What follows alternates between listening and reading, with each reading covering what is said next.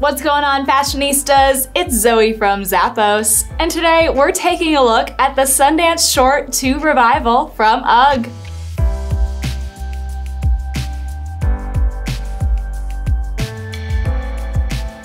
Stay cozy this season with these extra fluffy boots.